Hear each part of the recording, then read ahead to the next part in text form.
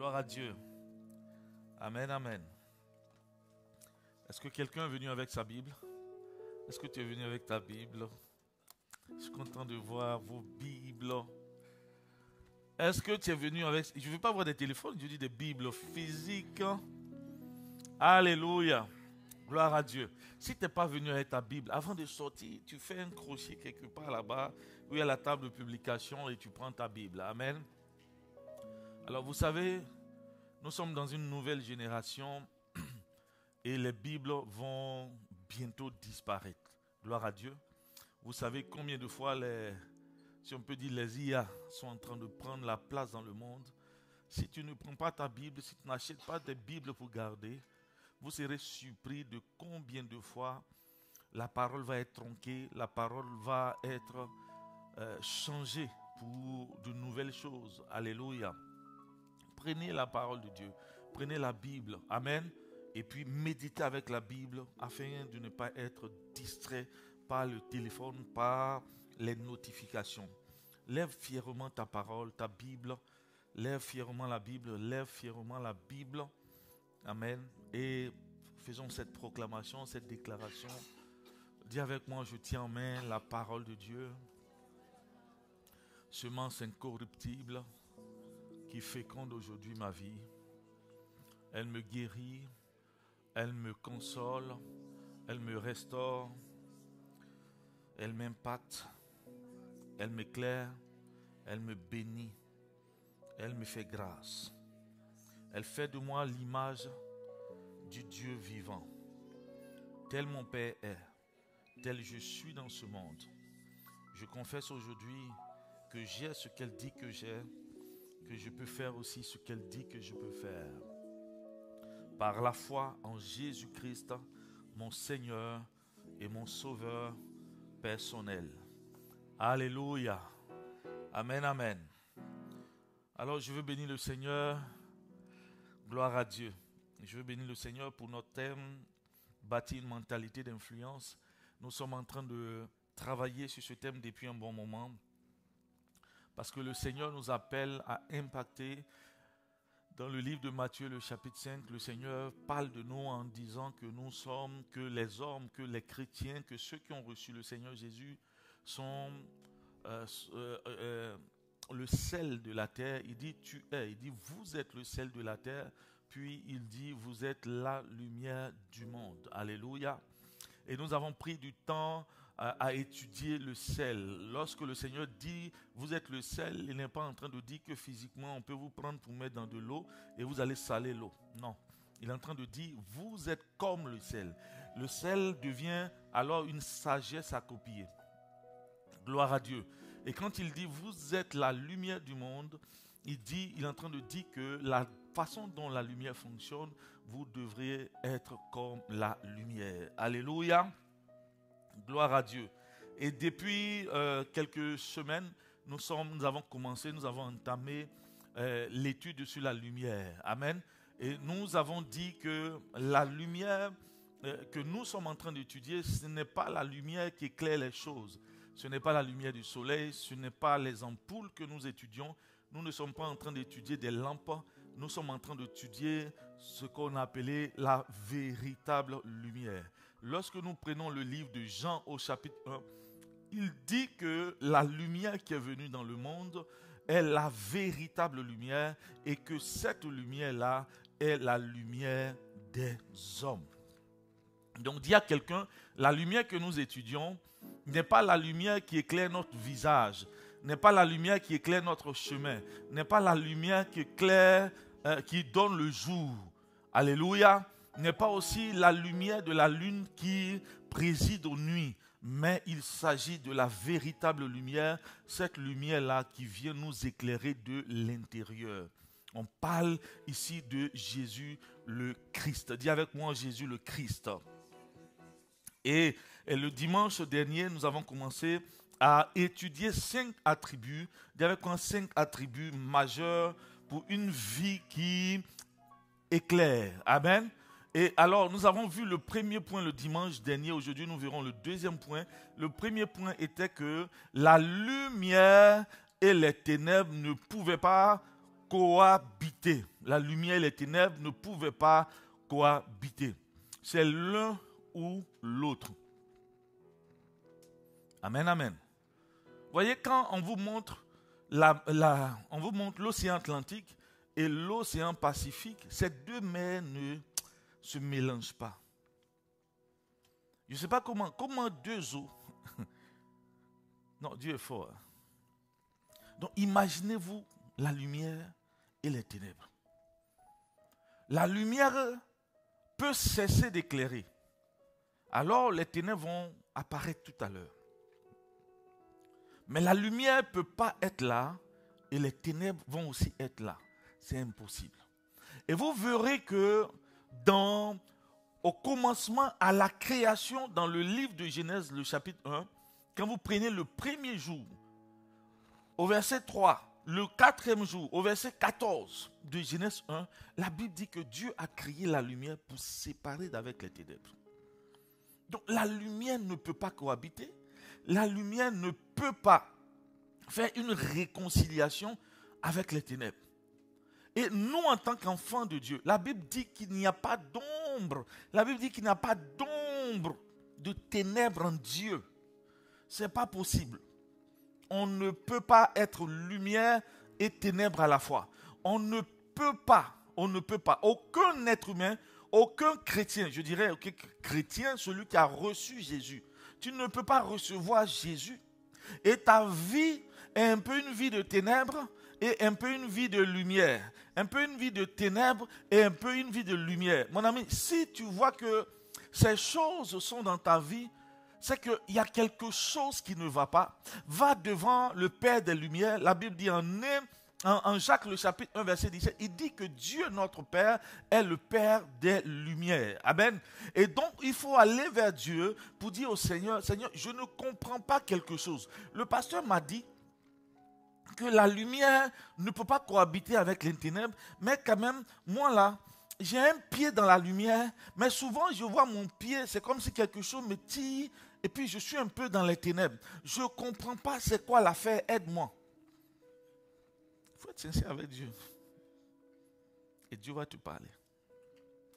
Parce qu'en réalité, quand la véritable lumière arrive, elle vient éclairer ton cœur. Et quand éclaire ton cœur, elle va montrer, ah, tu vois, tu es trop humble. C'est bien. Et puis il va...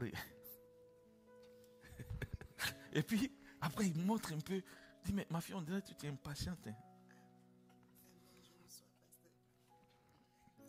Tu vois, la lumière vient, la lumière touche, la lumière éclaire.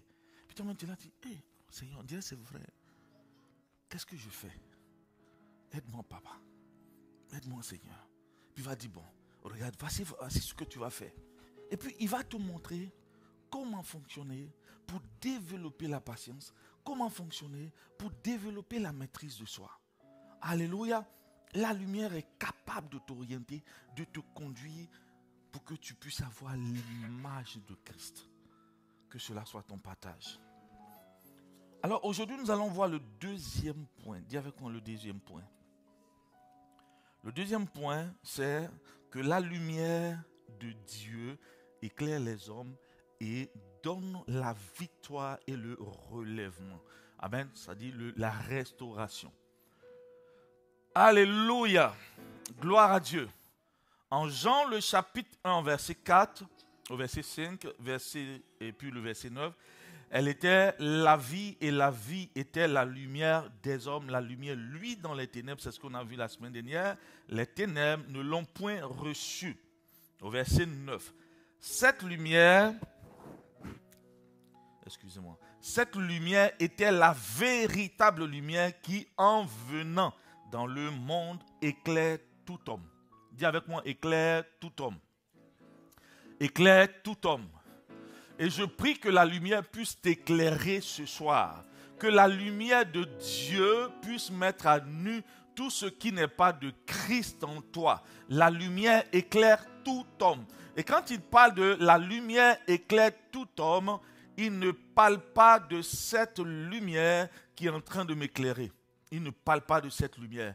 Il parle de la lumière qui me donne le discernement. Il parle de cette lumière qui me donne de voir clair. Cette lumière qui me donne de ne pas être aveugle sur ce qui concerne ma destinée, de ne pas être aveugle sur ce qui constitue ma bénédiction, ma grâce. Amen la Bible dit bien que nous avons été bénis, où ça Dans les lieux célestes en Jésus-Christ. Mais il y a beaucoup de chrétiens ici qui ont du mal à percevoir, qui ont du mal à voir la grâce, la bénédiction de Dieu pour leur propre vie.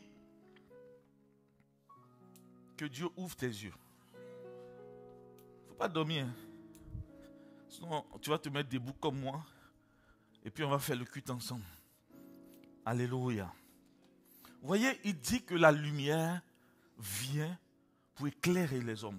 Lorsque Christ vient dans la vie d'une personne, il vient s'occuper de toi. Et Jésus veut s'occuper de toi. Le Seigneur vient pour que pour pouvoir te soulager. Le Seigneur vient pour te délivrer de toute forme de péché. Le Seigneur vient pour te délivrer de toute forme de manquement. Le Seigneur vient pour te, délivrer de toute forme de souffrance, de douleur, de lien, de prison, de limite. Il vient pour te délivrer des frustrations, des rejets, des hontes, des échecs, des malédictions, tout ce qui est pour toi une difficulté. Jésus n'est pas venu dans la vie pour te créer d'autres difficultés. Donc, il ne faut pas être comme ces chrétiens-là qui pensent que quand on vient à l'église, là, en fait, ça devient pesant de suivre le Seigneur. Non, ce n'est pas pesant. Il faut simplement être soumis à la parole. Il faut simplement rechercher Dieu. Il faut simplement laisser son cœur conduit par le Saint-Esprit. Et vous allez voir que la vie du chrétien, la vie de la parole n'est pas difficile. Le Seigneur Jésus dit que son joug est comment? Doux. Doux. Dis avec moi doux. Et quelque chose qui est doux là, c'est comment? Quand on dit c'est doux, il faut dire doux. Quand, quand, tu entends doux, ton, ton cœur est déjà disposé. C'est pas vrai. Quand on dit doux là, ça peut être sucré ou bien soyeux. Tu vois un peu, tu vois, tu, vois la soie, non? Tu vois moelleux. Tu vois, c'est pas quelque chose qui est dur. non, c'est quelque chose qui est agréable. Il dit son joug est agréable. Alléluia.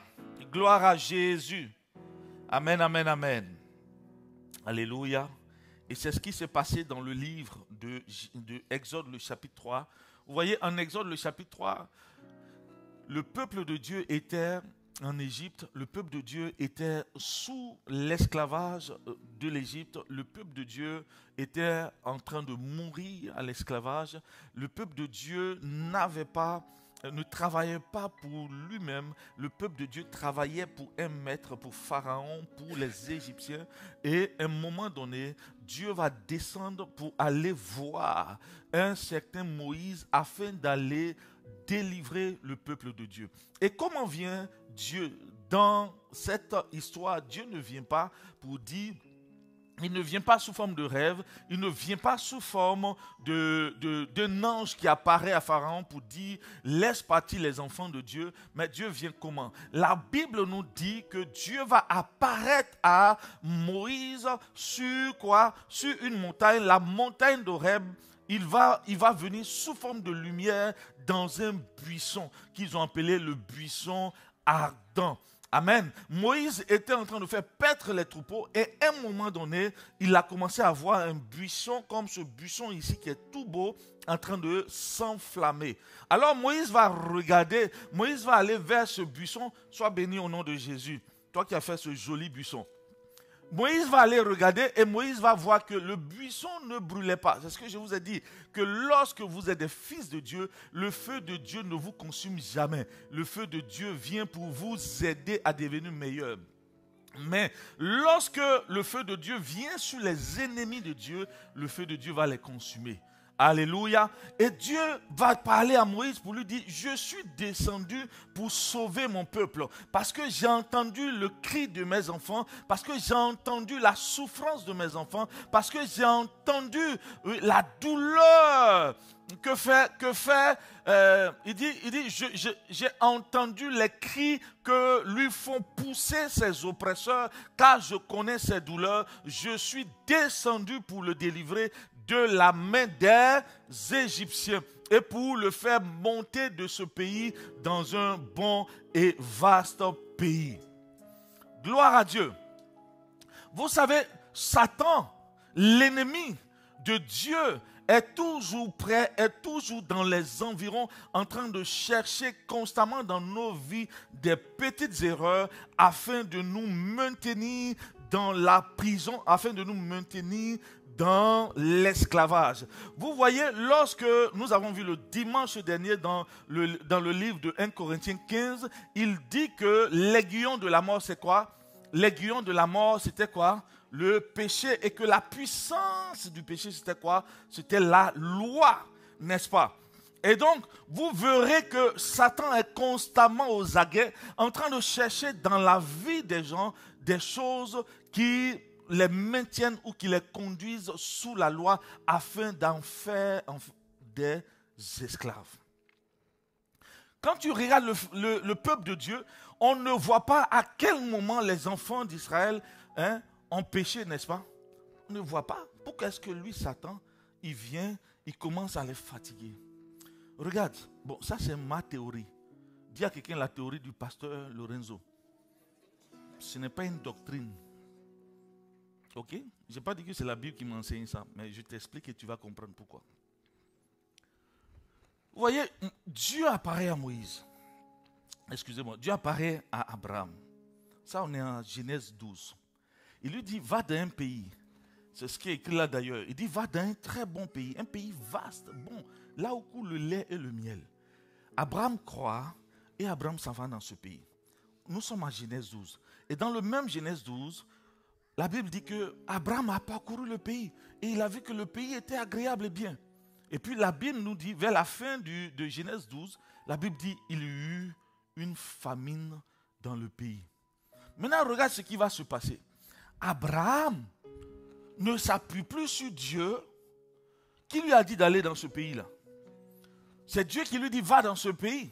Nulle part il est écrit que Abraham s'est appuyé sur Dieu. Nulle part il est écrit que Abraham a consulté Dieu. Et Abraham se lève et il va maintenant au pays d'Égypte. C'est-à-dire, il va s'appuyer sur le monde. Et lorsqu'il arrive, qu'est-ce qu'Abraham va faire? La Bible nous dit que Abraham va donner sa femme à Pharaon parce qu'il avait peur qu'on puisse le tuer. Alors Pharaon va prendre la femme d'Abraham pour en faire sa femme. Je ne sais pas quelle femme je ne sais pas. Mais Sarah est devenue femme de Pharaon. Vous me comprenez? Et ce matin, je disais, vous voyez, regardez, du jour au lendemain, on ne devient pas hyper riche. On dit que Abraham est sorti. Quand vous allez aller au verset, au, au chapitre 13, la Bible dit que Abraham est sorti avec de grands biens, des moutons, des bœufs, un troupeau innombrables. Ça, ça se fait en dix jours. Donc, Sarah est restée femme de Pharaon pendant combien de temps? Je ne sais même pas. C'est un jour, Dieu s'est révélé à Pharaon pour dire, si tu ne laisses pas cette femme, je te tue. Et Pharaon va libérer, va dire à Abraham, mais qu'est-ce que tu m'as fait? Tu m'as dit que c'était ta soeur, je l'ai prise pour femme. Tiens ta femme, quittez mon pays. Et la Bible nous dit que Abraham et son fils Lot ont quitté l'Égypte avec de grands biens. Et leurs biens étaient si considérables qu'ils ne pouvaient pas habiter le même lieu. Donc vous pouvez imaginer, ce n'est pas des jours de relation Pharaon a eu avec Sarah. là, je suis en train de vous parler de Sarah. De Sarah. Et plus tard, la Bible nous dit quoi? La Bible dit, que tout ce qui a triomphé de vous vous rendra esclave. Abraham n'a pas pu se fier à Dieu. Abraham n'a pas pris appui sur Dieu. Il a pris appui sur quoi? Les nations. Il a pris appui sur l'Égypte. Chaque fois qu'on parle de l'Égypte, ceux qui retournaient en arrière étaient ceux-là qui s'appuyaient sur l'Égypte, étaient ceux-là qui s'appuyaient sur le monde. Et quelque chose va se passer. Ça veut dire que sa foi avait un moment donné failli. Vous comprenez? Et la postérité que Dieu avait promis, cette postérité va rentrer en esclavage. Ce n'est pas le fils d'Agar qui allait en esclavage. Pourquoi? Parce qu'Agar n'était pas encore rentré hein, dans le chemin lorsqu'on était encore à Genèse 12. C'est lorsque Abraham sort de l'Égypte en Genèse 13 qu'il est venu avec une servante égyptienne. Alors, la descendance qui sort des entrailles de Sarah retourne en esclavage parce qu'ils avaient péché, parce qu'il avait craché sur ce qui était précieux pour lui. Un peu comme Ésaü qui avait profané ce qui était précieux. Alors quand le temps arrive, Dieu décide maintenant de pouvoir délivrer ce peuple. Et comment il apparaît? Il apparaît sous forme de lumière. Dieu ne laisse jamais ses enfants, même si tu as, péché, même si tu es dans des erreurs, le Seigneur viendra toujours pour essayer de te délivrer je prie que tu, tu, reçoives le Seigneur, que tu reçoives le Seigneur lorsqu'il vient vers toi. Je prie que chaque fois qu'il sonne à ta porte, tu sois toujours prêt à le recevoir. Je prie au nom de Jésus. Il dit, je me tiens à la porte, je frappe. Dieu vient toujours vers nous. Il vient toujours vers nous. Ne crois pas qu'il va t'abandonner. Même si toi tu l'as abandonné, lui ne peut pas t'abandonner parce qu'il t'aime trop. Il a payé un trop grand prix pour te laisser dans cette situation. Alléluia. Gloire à Dieu. Alors le premier point que nous allons voir aujourd'hui, c'est que la lumière de Dieu vaut mieux que le soleil. Oui. Bien-aimé, la lumière que Dieu donne vaut mieux que le soleil. Je vais te dire une chose. Satan n'a pas peur du soleil. Satan n'a pas peur du jour. Satan n'a pas peur du jour.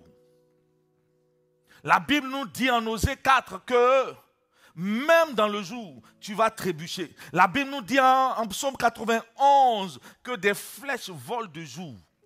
Ça veut dire que Satan opère en plein jour. Plein de chrétiens mentent le jour. Est-ce que tu attends le soir pour mentir? Est-ce que tu attends le soir pour faire des choses bizarres? Satan, dit à quelqu'un, Satan n'a pas peur du jour de la lumière du soleil. Mais Satan craint la lumière de Christ.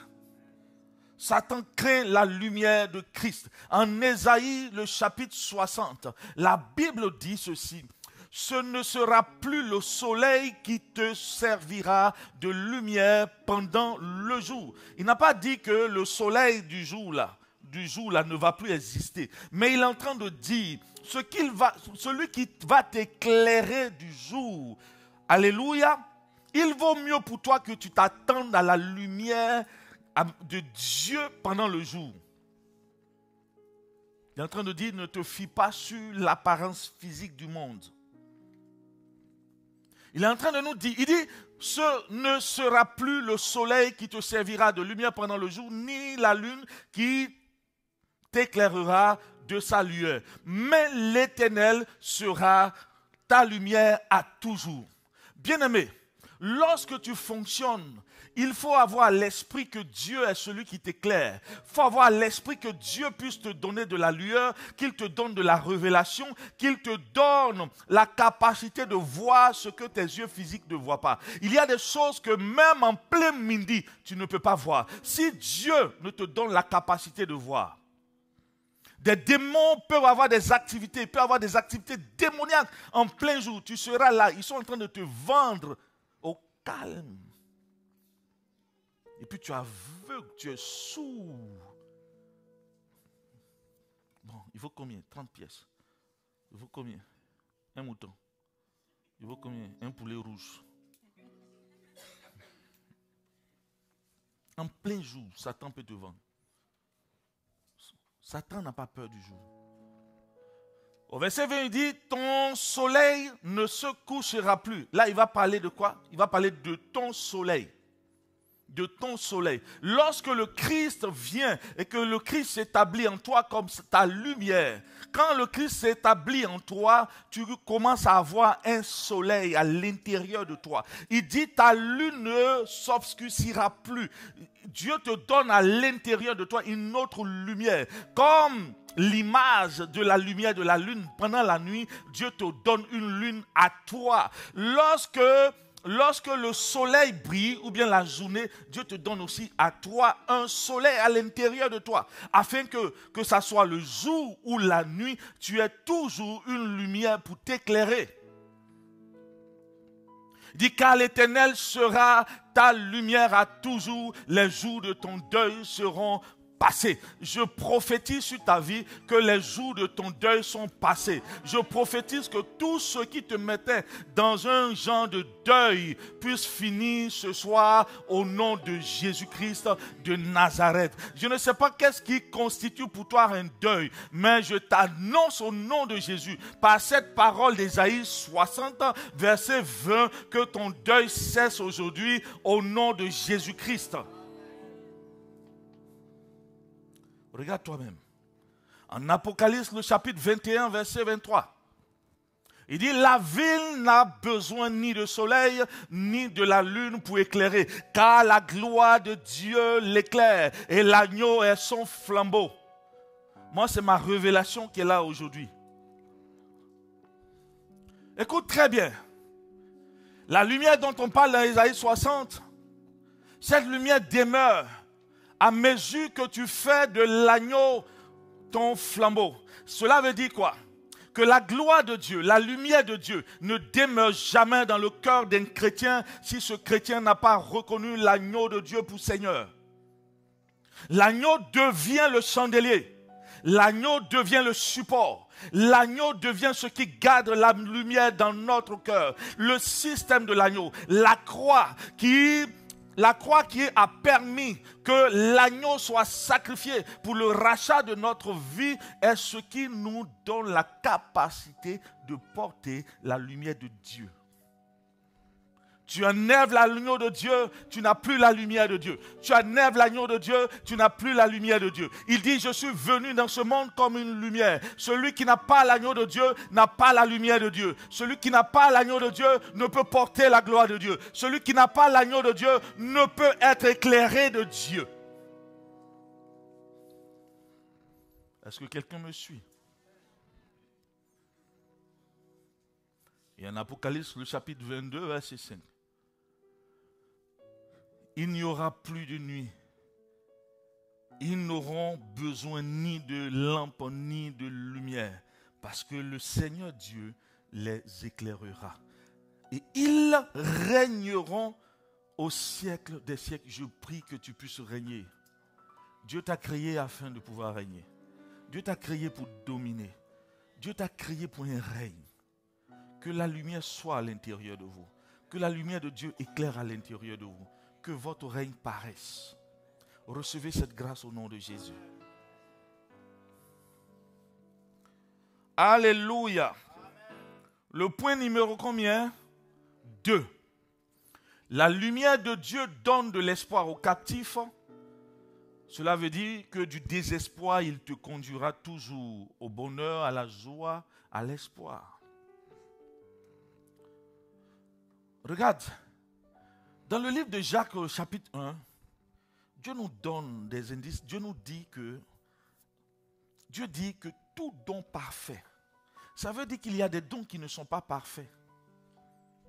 Tu peux avoir des choses, tu peux avoir des salaires, mais ces salaires-là, ça te crée des problèmes. Tu peux être payé et puis tu fais pas là avec ton mari seulement à cause du salaire. Vous n'avez jamais vu ça? Il y a des dons qui ne sont pas parfaits. Dieu peut te donner, Dieu peut te donner un salaire. Ce salaire-là, il n'y a pas d'angoisse avec ça. Tu n'as pas besoin d'être payé 20 000 dollars par mois pour avoir la joie. Dieu peut te, il peut te donner un travail, un petit travail. Ce travail-là vous procure la paix.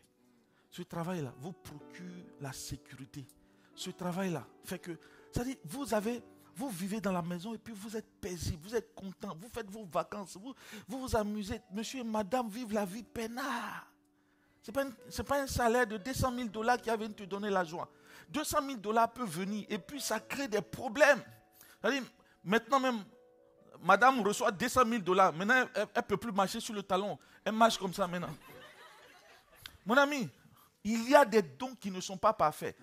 Donc quand il parle de dons parfaits, il ne parle pas de quantité. Il parle, la Bible dit que la bénédiction de l'Éternel ne suit d'aucun chagrin. Mais il y a des bénédictions qui suivent, avec, qui suivent de chagrin. Il dit ceci dans Parole vivante, il dit cadeau de valeur. S'il y a quelques cadeaux de valeur, vous voyez, la Bible dit que celui qui a trouvé une femme a trouvé le bonheur, virgule, c'est un cadeau, un don de l'éternel. Ah, moi je bénis Dieu. Dieu m'a fait de ces dons rares, rarissimes. Ah, ma femme est un cadeau du ciel. Ah, je bénis Dieu tous les jours pour cette femme. Vous n'avez pas idée. Je bénis Dieu. Vous savez, si tu n'es pas tombé sur la bonne personne, je, je, gère des problèmes de couple chaque fois. Je suis là et dis, hé Seigneur, hé mon Dieu. Je là dis, je me pose la question, je me projette souvent dans la vie des gens. Dis, si c'était moi à la place de ce monsieur. Non, mais vous n'avez pas idée. Vous n'avez pas idée. Il dit, il y a quelques cadeaux de valeur. Lorsque la lumière de Dieu arrive sur toi, la lumière conduit la grâce dans la perfection. La lumière de Dieu vient. Il dit, regardez, quand, quand Dieu vient, il y avait un peuple qui était dans les ténèbres. Jésus vient seulement. Dans, cette lumière apparaît seulement. Il dit dans les contrées voisines de la mer. Il dit dans la contrée de Nephtali, et de Zabulon, là où régnait la mort. Ils ont vu seulement une lumière. Hey, ils ont vu seulement une lumière. Donc quand Dieu arrive avec sa lumière, la vie reprend. Quand Dieu vient seulement avec sa lumière dans ta vie, je dis, il y a quelque chose qui change à l'intérieur de toi. La joie vient, la souffrance s'en va, les pleurs finissent, l'angoisse s'en va. Vous voyez, la, lumière de Dieu est une lumière extraordinaire. il, dit, il cadeau de valeur. Il n'a pas, quand on dit valeur ici, ce n'est pas une question de c'est beaucoup, ou c'est l'or, ou c'est diamant. Donc la valeur là, c'est la mesure de Christ. C'est la mesure de Christ. C'est la mesure de Christ. Ce n'est pas la mesure des hommes. Que Dieu te donne un cadeau de valeur. Cette semaine, tu vas avoir un cadeau de valeur.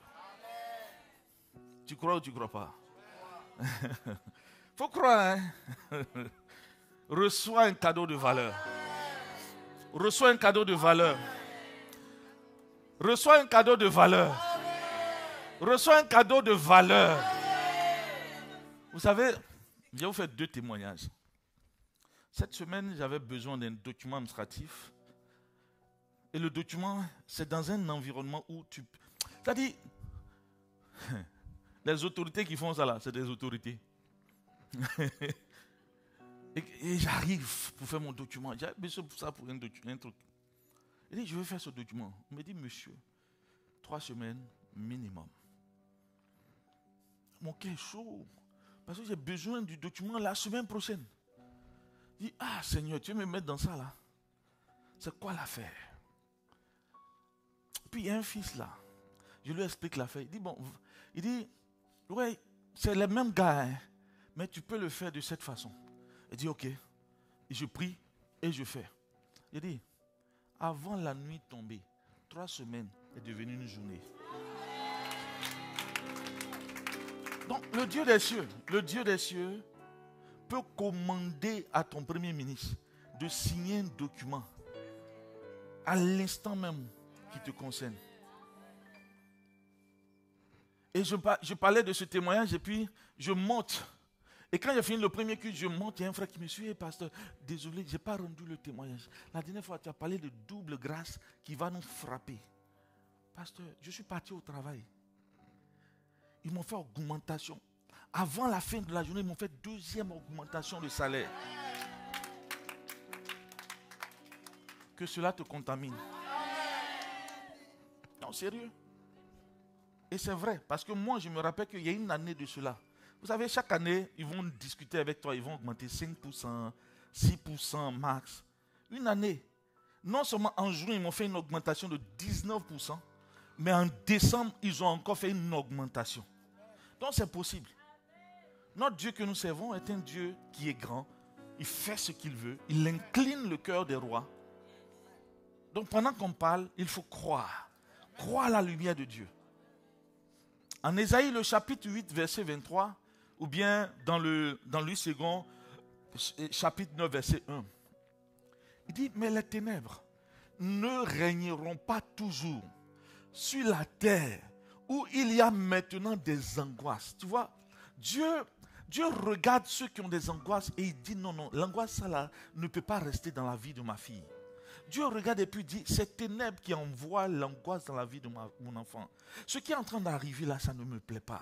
Il faut que je descende pour aller ôter l'angoisse sur le cœur de mon enfant. Dieu, Dieu, Dieu n'est pas content lorsque ses enfants sont dans l'angoisse, dans la souffrance. Lorsque tu pleures, ça touche Dieu. Lorsque tu es dans la souffrance, ça touche Dieu. Lorsque tu ne vis pas bien, tu n'es pas content, ton cœur est amer, cela touche Dieu.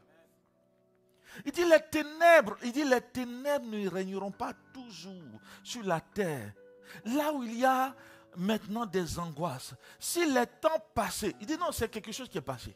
Dis avec moi, c'est passé.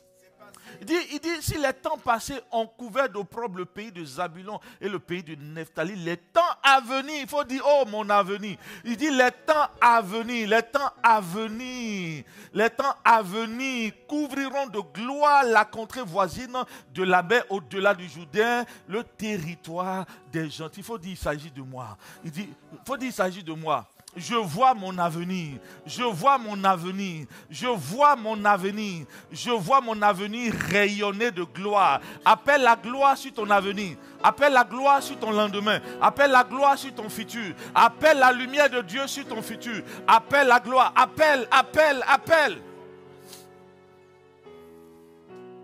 Alléluia. Dieu vient pour te soulager. Il ne vient pas pour te maintenir dans la souffrance. Ah, ne pense jamais cela, mon ami. Jamais, jamais. Dieu est bon. Alléluia. Point numéro combien maintenant? Trois. La lumière de Dieu, ou bien la lumière de la face de Dieu procure la vie et le salut. Parce que la lumière, ça vient de diverses manières. De la même manière que Moïse est monté à la montagne, et que la gloire de Dieu a rayonné sur la face de Moïse. Et lorsqu'il est descendu, personne ne pouvait regarder le visage de Moïse. De la même manière, Dieu fait rayonner sa face sur ses enfants. Et lorsque sa face rayonne sur ses enfants, cela donne le salut. Oui. Amen, amen. Alléluia. Psaume 80, verset 3 jusqu'au verset 8. Devant Éphraïm, Benjamin et Manassé, révèle ta force. De quelle force il s'agit On le verra. Et dit, et viens à notre secours. Oh Dieu, révèle-nous. Fais briller quoi? Ta face et nous serons sauvés. Mon ami, chaque fois maintenant que tu auras des difficultés, voyez ici, c'est Judas qui était en combat avec ses trois frères. Amen. Quand il dit trois frères, il parle de trois peuples. Et Judas, voyant que leur armée était une armée considérable, a dit au Seigneur, fais briller sur moi ta face. Fais briller sur moi ta face. Lorsque tu as l'impression que les ennemis sont nombreux, les difficultés sont incalculables, que c'est difficile, tu ne t'en sors pas, bien aimé, demande au Seigneur de faire briller sa face sur toi. Et Moïse, ce Moïse-là, demandait cela tout le temps. Il dit, fais-moi voir ta gloire, fais-moi voir ta gloire. Il a tellement fatigué Dieu avec sa gloire là qu'il il lui a dit, tu ne peux pas voir ma gloire et puis vivre. Mais viens, comme tu veux voir cette gloire-là, viens. Je vais te cacher quelque part là. Tu pourras voir ma gloire de derrière. Regardez, ça c'était l'ancien temps. Mais maintenant, Jésus a rendu possible l'accès à la gloire de Dieu. Il dit que, il devant le trône de la grâce, nous avons libre cours, libre accès, libre accès. Libre accès. Il dit, ils nous fait assurance pour avoir libre accès. Libre accès. Libre accès. Bien-aimé, il faut demander constamment. Quand ça ne va pas, demande à Dieu de faire briller sa face sur toi. Et demande avec conviction, demande avec foi. Il faut demander cela. Alléluia. Amen. Il dit, éternel Dieu des armées, jusqu'à quand t'irriteras-tu contre la prière de ton peuple? Tu les nourris d'un pain de larmes. Oh, il dit, tu les abreuves de larmes et de pleine mesure, à pleine mesure. Et tu fais de nous un objet de discorde pour nos voisins et nos ennemis seraient de nous. Ça veut dire qu'ils avaient vu que les ennemis se moquaient d'eux. Toi, tu n'as pas dit que tu es chrétien. Toi, tu n'as pas dit que tu es de Dieu. Mais regarde, tu ne peux rien faire. Tu ne peux pas faire ceci. Toi, qui, toi, toi tu dis non, tu ne couches pas. Il faut rester là. Tu as devenu vieille, stérile. Tu n'auras pas ceci. Tu n'auras pas cela. Puis toi, tu es là, tu dis oui, oui, c'est vrai. Oui, oui, c'est vrai. Eh, Seigneur, on dirait que c'est chaud. Hein. Oui, oui. Tu commences à calculer ton faut arrêter. Dis à quelqu'un, il faut arrêter. Il faut arrêter. Dieu n'est pas dans les nombres. Dieu n'est pas dans la vieillesse. Dieu n'est pas dans les nombres. Dis avec moi, Dieu n'est pas dans les nombres. Quand on te parle de Sarah, ne pense pas que c'est une histoire. Moi, j'ai déjà vu des personnes de 60 ans procréer. Oui, oui, oui, oui. Donc arrête de penser que Dieu est dans les nombres. Arrête ça. Maintenant, ici, la Bible nous dit qu'il était en train d'exposer leur, souffrance. Il dit, tu nous nourris de larmes. Vous voyez, j'ai vu des chrétiens, j'ai vu des chrétiens avec une vie de larmes. Vous voyez, quelqu'un vient ici pour étudier. Tu as une bourse, tu es content. Tu arrives ici, on te dit, ils t'ont retiré la bourse. Tu sais que ton père n'a pas l'argent, ta maman n'a pas l'argent. Tu es menacé d'être renvoyé. J'ai vu des chrétiens pleurer. J'ai vu des chrétiens menacés de retourner dans leur pays parce que, parce que, parce qu'ils ne peuvent pas payer leurs cours. Ils ont, il manque certains papiers, il manque certaines choses. Mais laisse-moi te dire, j'ai vu aussi Dieu agit dans de tels cas. J'ai vu des frères ici qui n'avaient plus de papier. On leur a envoyé des documents d'expulsion. Et Dieu a renversé la situation. Ce n'est pas une seule personne. Ce n'est pas deux personnes. Ce n'est pas trois personnes. Les exemples sont légion. Donc mon ami, je ne sais pas par quel type de pleurs tu passes en ce moment. Mais laisse-moi te dire que ton Dieu, qui est le Dieu de la lumière, a des cadeaux de valeur pour toi peut venir, il peut renverser tes situations qui produisent pour toi des lames, des flots de larmes. Il y a des gens qui ne dorment pas. Pendant que toi tu es en train de dormir sur ton lit, il y a des gens, leur lit est, devenu leur serviette pour s'essuyer les larmes. Ah, je prie que Dieu, notre Dieu que nous louons, puisse essuyer les larmes de quelqu'un aujourd'hui. Je pense à des soeurs, je pense à des frères qui passent par des moments terribles, qui se posent des questions, qui sont dans des difficultés. Vous avez l'impression, l'impression que tout s'est retourné contre vous. Je vous assure que Dieu, notre Dieu des cieux, est capable de renverser cette situation. Ah, lorsque je suis en train de parler, je pense à des cas exceptionnels, des cas de difficultés extrêmes. Et je prie que la lumière de Dieu soit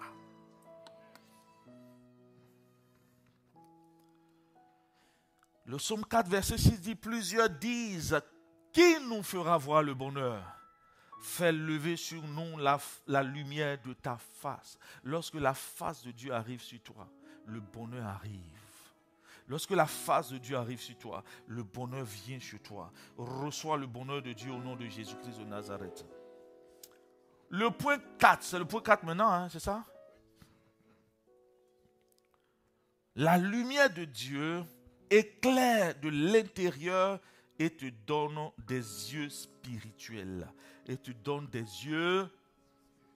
Et te donne des yeux. On va prendre le proverbe, le chapitre 20, verset 20, que tout le monde connaît. Lisons ensemble.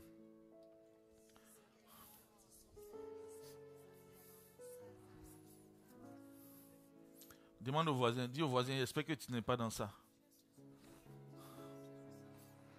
Il dit, si quelqu'un maudit son père et sa mère, dis avec moi, sa lampe. Sa lampe. Sa lampe. Tu ne parles pas bien. Hein? Sa lampe. Sa lampe. Maintenant, touche le voisin, dis-lui, est-ce que tu savais que tu avais une lampe? Tu vois, le Seigneur a mis à l'intérieur de toi une lampe. En chacun de nous, Dieu a disposé une lampe à l'intérieur. Et cette lampe peut s'éteindre comme cette lampe peut éclairer énormément.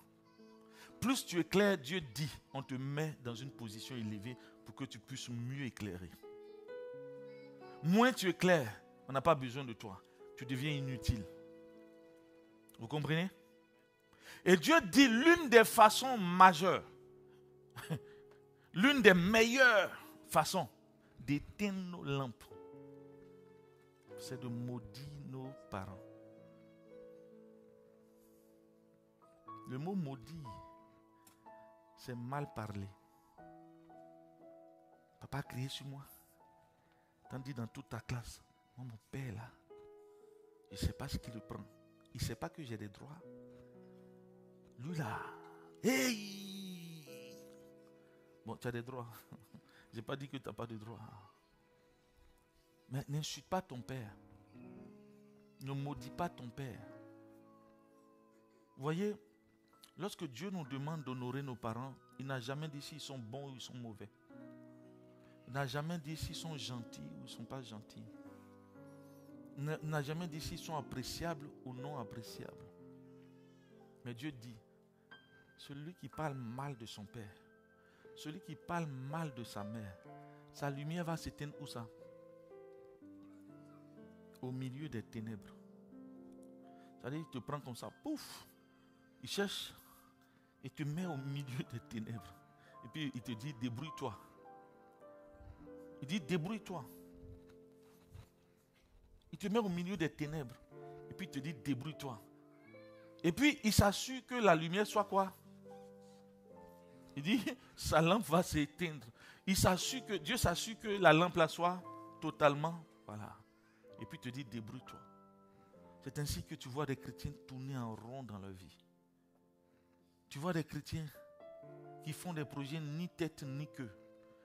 Le projet là, quand tu as vu le projet, ton cœur était tellement enthousiaste.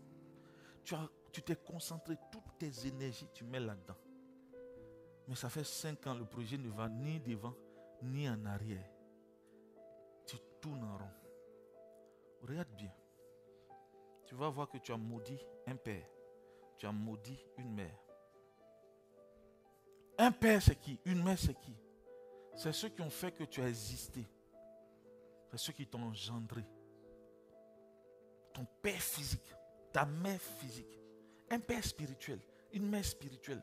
Quelqu'un qui a fait que tu es né en Christ. Et il y a d'autres. D'autres, c'est les beaux-pères, beaux-parents, belles-mères. Nous savons combien de fois le foyer engendre les conflits entre les beaux-parents et les belles filles. Bon, je dis plus parce que c'est là où il y a beaucoup plus de conflits. Le maman du mari, ah, il n'est pas prête pour la jeune soeur. Ça, on le voit tous les jours. Mais Dieu ne t'a pas donné mandat de maudire cette femme-là. Dieu ne t'a pas donné mandat d'agir. Dieu t'a donné un seul mandat. C'est quoi? C'est quoi? Dis bien. Je sais que ça te fait mal, mais dis bien. C'est quoi? Le mandat que Dieu t'a donné, c'est quoi? Est-ce que tu peux honorer? Vous savez, honorer là, ça met, vous voyez la lampe tempête, on met du pétrole dedans pour que la lampe tempête puisse donner sa lumière, n'est-ce pas? L'électricité, il y a quoi? Il y a juste l'électricité qui donne quoi? L'énergie pour allumer. Donc le fait d'honorer là, ça devient le carburant pour maintenir ta, lumière à l'intérieur de toi. Dès que tu maudis, quand tu maudis, ça éteint, ça diminue, tu maudis, ça diminue, tu maudis, ça diminue, tu maudis, ça diminue, tu maudis, ça diminue seulement. À un moment donné, hein, un peu comme les voitures qui n'ont plus d'huile moteur, tu coules biel. Tu as du mal à démarrer ta voiture. Tu as du mal à bouger. Tu te poses des questions, mais je suis à quelle période de ma vie? Tu n'es plus capable de distinguer le jour, de distinguer la nuit, de distinguer la saison. Tu es là, tu dis, pasteur, je m'en sors pas. Je ne sais même pas où je vais. Je ne sais même pas où je suis quitté.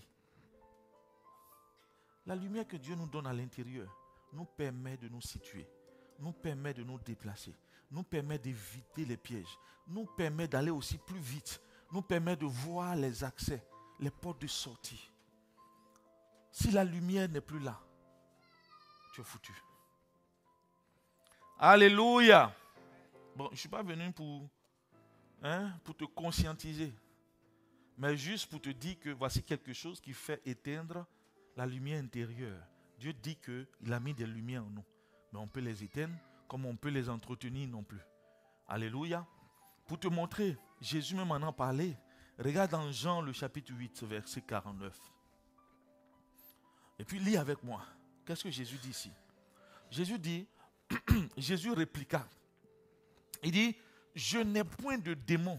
Mais quoi? Qu'est-ce que je fais? Qu'est-ce qui prouve que je n'ai pas de démon? Ça veut dire qu'un homme qui n'honore pas son père et sa mère hein, est poussé et inspiré par des activités de démons. Jésus dit, je n'ai pas de démons. Il est en train de parler. On, disait qu'il était, était un démon. Quand tu lis plus tôt, on, lui disait, mais n'es-tu pas un samaritain? Ceci, cela. Ils ont commencé à parler. Il dit, la réponse qu'il donne, il dit, il dit simplement, je n'ai pas de démon. Il ne va pas démontrer qu'il est saint. Hein. Mais la phrase qu'il va dire, dit je nom mon Père.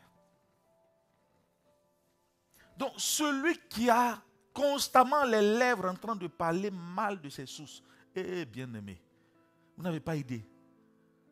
Mais Satan assis dans l'ombre, il y a des activités des démons. Le ciel 2, le ciel numéro 2, le ciel, le deuxième ciel est ouvert sur ta vie. Et puis les démons montent et ils descendent. Ce n'est pas les anges. Les démons, eux, ils montent et puis ils descendent. Alléluia. Mais ce soir, je t'en parle que ta lumière puisse bien éclairer. Est-ce que tu comprends? Est-ce que tu comprends? Est-ce que tu me reçois? Est-ce que quelqu'un me reçoit derrière? Amen, amen. Dans le Proverbe, le chapitre 24, verset 19 au verset 20. Il dit, ne t'irrite pas à cause de ceux qui font le mal. Donc, tu vois, ta, belle-mère, par exemple, elle peut dire à son fils, mais ah, la femme, là, la fille, là, elle bouffe tout ton argent. Moi, je t'ai mis au monde. Je t'ai mis au monde. Je t'ai mis à l'école. Depuis tu as connu cette fille-là, tu ne nous appelles plus. Tu viens plus en vacances ici. Ouais, c'est comment les, les femmes la font, non? C'est pas vrai. Hein? Gloire à Dieu. Il dit, ne t'irrite pas à cause de ceux qui, ceux qui font le mal. Amen. Au verset 20, il va dire, car il n'y a point d'avenir pour celui qui fait le mal. Il dit, la langue des méchants fait quoi? C'était.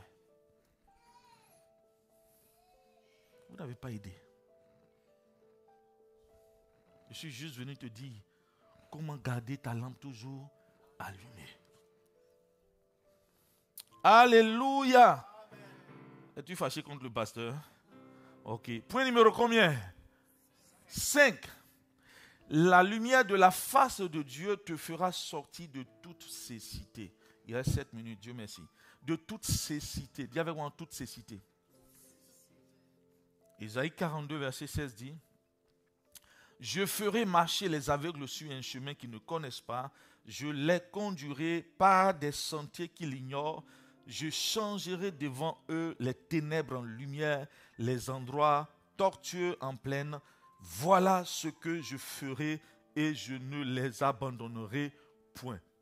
Vous voyez, je ne l'ai pas mis ce verset, mais la Bible nous dit que, si vous voyez, la Bible dit, si notre évangile est voilé, hein, pour ceux qui périssent, il est voilé, pourquoi Pour quelle raison? Parce que le Dieu de ce siècle a aveuglé, les a aveuglés, pour qu'ils ne puissent point voir l'évangile, ou la gloire, il dit, ne puissent point voir la gloire de l'évangile de Christ. Ah, comme si vous trouvez, vous pouvez mettre. Merci. Dit, si notre évangile est encore voilé. Il est voilé pour ceux qui périssent. On continue. On continue la corde.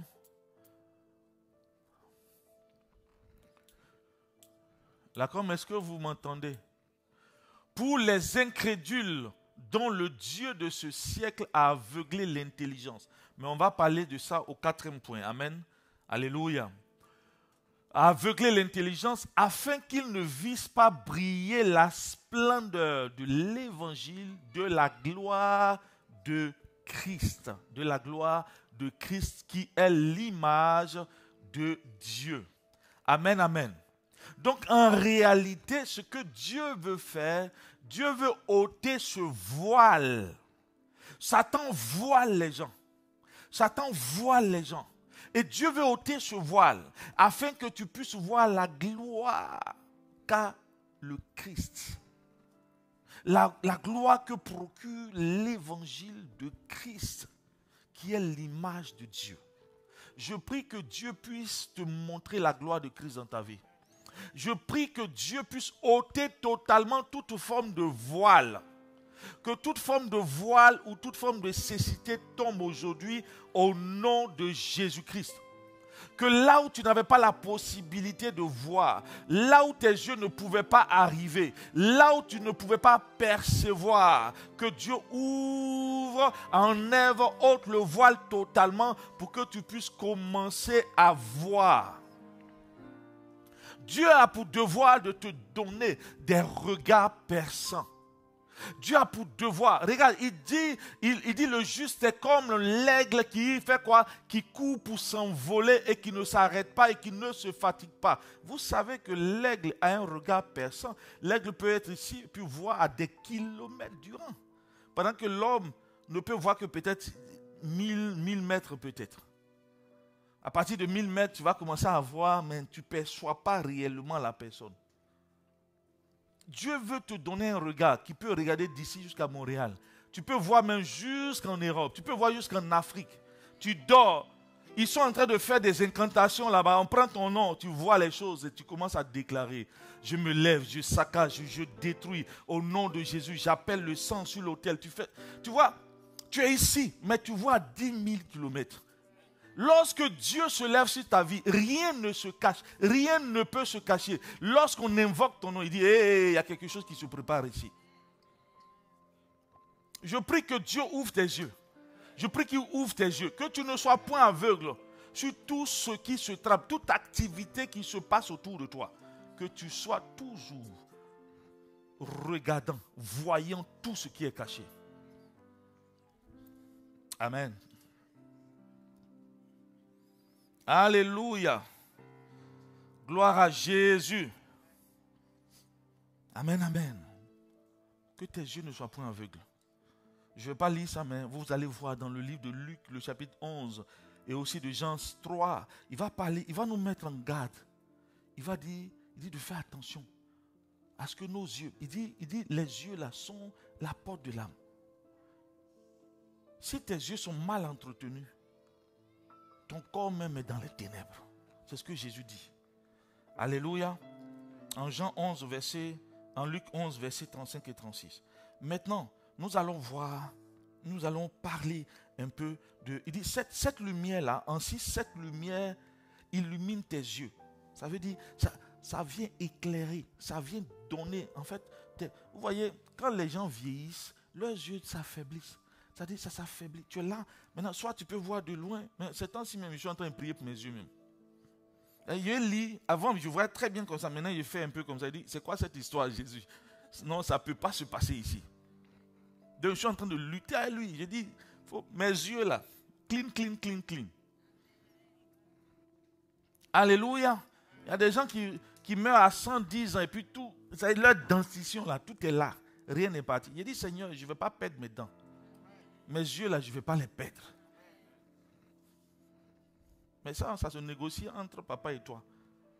Si maintenant toi tu penses que la science dit à 90 ans, tu dois tout perdre, tu dois porter dentiste, ça c'est ton problème. Mais moi je sais que quelqu'un peut mourir à 120 ans avec toutes ses dents. Alléluia. Gloire à Dieu. Amen, amen, amen, amen. Alors, je vais te donner quelques maladies, quelques maladies de la vue. Il nous reste une minute. Bon, c'est très bien. On va pouvoir voir. Job, le chapitre 29, verset 2 au verset 3 dit ceci. Oh, que ne puisse être comme au mois du passé. Tu vois, il est en train de, il est en train de juste avoir la nostalgie d'une vue passée. Ça veut dire que quelque chose ne va pas, n'est-ce pas? Voilà, il y a beaucoup de personnes. Tu vois, quand tu donnes ta vie à Jésus, parfois, tu, souvent, les, nouveaux chrétiens disent Ah, pasteur, j'ai rêvé, j'ai rêvé, j'ai fait ceci, j'ai fait cela. Et puis à un moment, il dit Ah, pasteur, il ne sait pas, mais je ne rêve plus. Qu'est-ce qui s'est passé? En réalité, plus tu deviens un vieux chrétien, c'est là que tu dois bien rêver. C'est là que tu dois, tu rêves, tu parles avec Dieu. Tu dis, bon, euh, tu sais, hein, on dit le Premier ministre que, euh, euh, de, la France doit venir ici. Bon, qu'est-ce qui va se passer dans le monde spirituel? C'est quoi je dois dire? C'est quoi? Je dois faire quelle prière? On dit, bon, ok, il aura éclipse totale. Est-ce qu'il aura des activités de démons en cette période? Qu'est-ce que tu vois, tu vois, Qu'en plus tu vieillis, tu as des communications avec le Père. Ce n'est plus des communications où tu es là, tu pries parce que tu dois manger, tu dois avoir un salaire. Non, non, non, non, c'est pas ça comprends? Mais il dit, dit, oh, que ne puisse être comme au mois du passé, comme au jour où Dieu me gardait. Il dit, quand sa lampe brillait sur ma tête et que sa lumière me guidait dans les ténèbres. Ça veut dire qu'il a l'impression que sa lumière ne guide plus dans les ténèbres. Ça veut dire qu'il est devenu totalement aveugle. Il est là et puis dit, c'est quoi? Je vois plus clair ou quoi? Qu'est-ce qui se passe? Tu vas tomber dans un trou, quoi? Ah, c'est Job qui parle. Et donc, je vais te citer quelques maladies de la vue. Bon, les gars qui font clignoter mon temps là-bas, là. Il est 10. On a encore 20 minutes. Donc, ne m'embrouillez pas. Alléluia. Je vais rendre le truc à 20. Gloire à Dieu. Dis avec moi maladie de la vue. Maladie de la vue. Donc j'ai pris quelques maladies physiques pour te décrire des maladies spirituelles. Regarde, quand on prend la myopie, dis avec moi la myopie spirituelle. Amen. La myopie, c'est quoi? C'est voir seulement de près. C'est-à-dire, si tu ne mets pas là, là, tu ne vois pas. Tu mets un peu net, c'est flou. La myopie spirituelle. Donc, il y a des personnes, qui ne voient que leur vie. Il y a des personnes qui ne voient que leur vie, leur vie. Tu vois, pendant que, Pierre se lève pour couper l'oreille de Macus, Judas se réjouissait de ses 30 pièces d'argent. Tu me comprends? Pendant que Pierre va se battre pour qu'on libère son maître Jésus. Bon, après il a fui, hein. Mais au moins, il l'essayait. Pendant qu'il donne sa poitrine, Judas était là-bas, il était en train de compter, waouh, ça ça peut me payer des portions de vignes. Ça, ça peut me construire mon immeuble. Ça, je vais acheter la voiture de ma copine. Ça, ouais. Donc la myopie, quand, une fois que tes yeux sont fermés, ta vie sera centrée uniquement sur toi. Tu ne pourras plus rien faire pour la vie des chrétiens tu ne pourras plus rien faire pour la communauté. Tu ne pourras rien faire. La Bible dit que lorsque ta lumière brille, on te met où? En hauteur pour, que tu puisses éclairer plusieurs. Mais quand tu as la myopie, tu t'éclaires toi-même. Tu te suffis toi-même. Tu jouis de toi-même. Tu fais toi, tout c'est toi. Toi c'est toi. Tout est toi. Sois délivré de la myopie spirituelle au nom de Jésus. La deuxième maladie, c'est l'hypermétrope. C'est quoi? On ne voit seulement que de loin. C'est-à-dire, celui qui est à côté là, tu ne vois pas. Celui que tu vois, c'est très loin. Alléluia. C'est ce qui s'est passé avec les pharisiens. Vous voyez, les pharisiens attendaient depuis des siècles Jésus. Non. Et Jésus au milieu d'eux. Jésus avec eux. Mais pour eux, le Messie arrive. Le Messie arrive. Leur tête est dans le ciel. Ils ne reconnaissent pas les signes des temps. Dieu leur envoie la bénédiction. Non, non, non, non. Tu cherches le, gars qui est trop beau là. Le gars qui est grand avec les 19 tablettes de chocolat sur. tu tu attends seulement. Tu regardes. Oh, il y a un gars flingel qui est juste à côté de toi. C'est ta réponse de Dieu. Ce gars-là, tu peux le transformer en tablette de chocolat. Mais lui, pour l'instant, il ne ressemble même pas à ta réponse. Tes yeux sont quelque part. Pourtant, Dieu t'a béni avec la réponse. Vous voyez Ça, c'est une maladie de la vue. Quand tu n'as plus de lumière, c'est comme ça que tu vois aussi. Troisième maladie, l'astigmatisme. Vision déformée. Hmm. Vision déformée. Amen. Vous voyez, il y, a a, des chrétiens, par exemple, il y a des chrétiens, par exemple, qui cherchent dans la Bible des versets pour aller commettre leur forfait. Vous voyez, non? C'est-à-dire, eux veulent s'auto-satisfaire avec des versets bibliques. Parce qu'ils veulent quatre femmes. Vous voyez le roi Salomon. Il a eu 700 femmes, 300 concubines. Quatre. C'est quoi quatre? Ne voyez pas que les femmes souffrent. On veut les soulager. C'est une vision déformée. Déformée. Vous comprenez? C'est une vision déformée. C'est déformé. Jésus n'a jamais dit ça. C'est la même chose qui s'est passée. Hein? Quand Jésus, en Matthieu 18, quand les pharisiens sont venus pour dire, mais pourquoi est-ce que Moïse nous a dit, nous a permis, non, nous a dit de donner une lettre de, pour répudier la femme? Dit, ça cause la dureté de votre cœur. Mais au commencement, ce n'était pas ainsi. Ça veut dire qu'à un moment donné, la loi était comment? Déformée. il y a des gens comme ça. Que tout ce qui est déformé en toi soit redressé au nom de Jésus.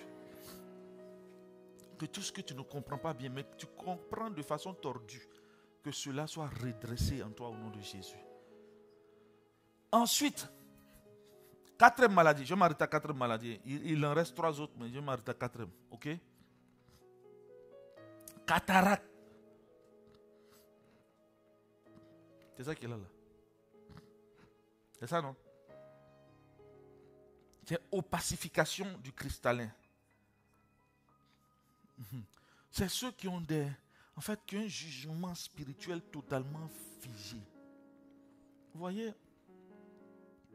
vous pouvez être des personnes très justes. Vous comprenez? Très, très justes. Vous n'aimez pas l'injustice. Vous n'aimez pas, pour vous, quand on dit c'est violé, c'est violé. Faut pas porter mauve. Non, c'est l'exemple.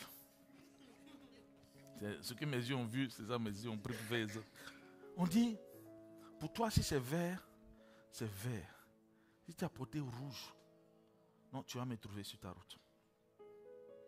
Bien aimé, cette façon de voir nous empêche parfois de rentrer dans notre destinée de rentrer dans notre destinée. Dieu lui-même dit, dans le livre de Actes des Apôtres, le chapitre 17, là, il dit qu'il a voulu qu'on puisse le connaître en faisant quoi? En tâtonnant. Bien vrai qu'il n'est pas loin de nous. Parfois, Dieu ne prend pas un chemin comme ça. Un chemin comme ça. Or, toi, tu es figé. Tu es figé. Dieu dit que ton oui soit oui et que ton non soit non. Dieu lui-même, là, Ézéchias a prié. Et puis Dieu a dit, il, a dit, il avait dit à Esaïe, va lui dire qu'il est meurt là. Que pour lui est terminé là. Mais après la prière d'Ézéchias, Dieu a dit, va lui donner 15 ans. Maintenant toi, toi, c'est quel péché ton mari a fait? Et puis là, là, vous devez forcément divorcer. C'est quel péché on ne peut pas pardonner? C'est-à-dire, ton cœur est monté jusqu'à ça arriver à un point où c'est-à-dire, même si Dieu descend, souvent tu parles aux gens et puis tu dis, même si Dieu descendait, cette histoire-là, je ne veux plus. Tu vois ton cœur. C'est une vision catharistique Ah bon, j'imite mon père spirituel. Hein. Lui crée les noms seulement. Gloire à Dieu. Gloire à Dieu. Amen, amen. Est-ce que tu as été béni? Est-ce que tu es béni ce soir? Alors on va acclamer le Seigneur. Hein, les, autres, les autres maladies, va voir dans le live du deuxième culte. Alléluia. Gloire à Dieu. Amen. On va se lever et on va prier. Tu vas te lever et tu vas prier. Tu vas prier. Tu vas prier. Tu vas dire au Seigneur, Seigneur, accorde-moi s'il te plaît. Accorde-moi ta lumière. Que ta lumière luise. Que ta lumière éclaire mon esprit. Que ta lumière vienne mettre en moi la lumière qui vient de toi. Élève juste la voix et dis au Seigneur, je ne sais pas comment briller. Je ne sais pas comment faire, mais tu es capable d'illuminer mes yeux. Tu es capable de me donner une lumière intérieure. Élève la voix toi-même. Commence à prier. Et dis au Seigneur, donne-moi ta lumière. Donne-moi ta lumière. Ravive en moi ta lumière. Ravive dans mes yeux ta lumière. Ravive dans mon esprit ta lumière. Appelle la lumière de Dieu. Appelle la lumière. Appelle la lumière. Appelle la lumière. Appelle la lumière. Appelle la lumière. Rimbokete redebrasinga radabashete lebros. Irebesha rabakata radabrakende lebesandorbe. Rebrabakata radabrasete lebrosindaraba. Rebrekende lebeshadabakondorobekende lebeshadaba. Il dit ce ne sera plus le soleil qui te servira de lumière pendant le jour, ni la lune qui t'éclairera de sa lueur. Prie et dis au Seigneur, accorde-moi ta lumière, accorde-moi ta lumière. Il dit, mais l'éternel sera ta lumière à toujours. Appelle la lumière de Dieu. Appelle la lumière de Dieu dans ton cœur. Appelle la lumière de Dieu. Il dit, ça ne sera plus le soleil. Ça veut dire que lorsqu'il va faire jour et qu'il aura des activités démoniaques, il aura des activités des ténèbres, tu seras toujours éclairé. Tu seras toujours éclairé. Tout sera visible à ses yeux. Si tu as la lumière de Dieu, tout sera visible à tes yeux. Rien ne sera caché tout sera visible. Appelle la lumière de Dieu. Appelle la lumière de Dieu. Dis à Dieu d'éclairer ton esprit, d'éclairer tes yeux, de te donner de la lumière divine. Il dit ton soleil ne se couchera pas. Cela veut dire même que lorsque tu dors, tes yeux intérieurs seront toujours Lorsque tu es couché, tu n'auras pas, ta lumière ne s'éteindra pas. Tu auras toujours de la lumière. Il dit les jours de ton deuil sont passés. Lorsque Dieu te donne ta lumière, sa lumière, tu ne connaîtras plus de deuil, tu ne connaîtras plus de souffrance, tu ne connaîtras plus de pleurs, parce que tu verras clairement comme il voit, tu verras clairement comme il voit. Prie Dieu, appelle la lumière de Dieu, appelle la lumière du Seigneur. Il dit, ce ne sera pas le soleil qui te servira de lumière. Reçois la lumière de Dieu. Que Dieu te claire aujourd'hui, que Dieu illumine tes yeux, que tes yeux spirituels Sois allumé ce soir. Que tes yeux spirituels soient allumés ce soir. Celui qui est aveugle, la cécité tombe ce soir. celui qui avait perdu l'éclat de ses yeux, la cécité tombe. Si tu avais perdu, oui, tu ne voyais plus loin. Au nom de Jésus-Christ, tu commences à voir. S'il y a des activités de démons contre ta vie, tu les vois et tu les démontes au nom de Jésus-Christ de Nazareth. Les gens seront à des distances éloignées. Ils feront des conciliabules contre toi et tu les verras. Tu les verras. Tu les verras. Tu les verras. Tu les verras. Rien de ce qui te concerne sera dans les ténèbres. Appelle la lumière de Dieu. Appelle la lumière de Dieu. Appelle la lumière de Dieu. Que la lumière soit en toi. Que la lumière brille. Que la lumière brille. Que la lumière brille. Te concernant tes situations dans ta famille, dans ton foyer. Que la lumière soit. Que la lumière soit. Alléluia. Mets juste la main sur les yeux et lève l'autre main.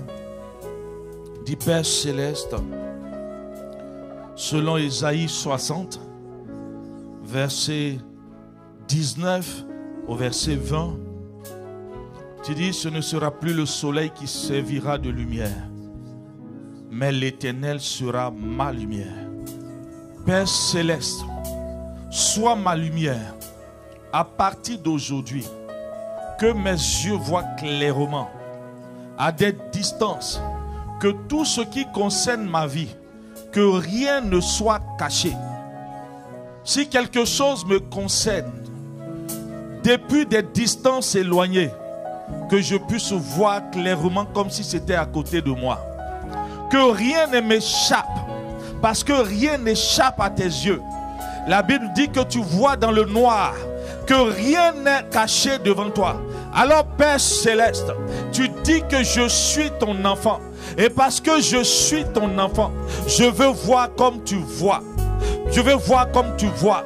Que dans mes yeux, ta lumière soit que ma lumière intérieure s'allume. Je te demande pardon pour toutes les fois où j'ai maudit mon père et ma mère. Je te demande pardon.